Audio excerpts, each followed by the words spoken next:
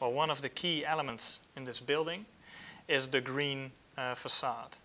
And because of the way we tendered, we've been able to have a facade which uh, cleans the air, which has a very good insulation quality, which produces oxygen, and which also is a very nice habitat for uh, small birds and insects.